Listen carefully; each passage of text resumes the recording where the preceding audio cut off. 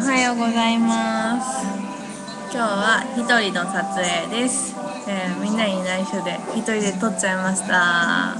イエイ。今日は朝は、えーうちに住み着いている鳥さんの目覚まし時計で起きました。ぴよぴよと朝の早くから泣いておりましたが天然の目覚まし時計ですっきりと見えませんが、えー今日も爽やかな一日が始まりましたのでまた今日も一日頑張りましょう。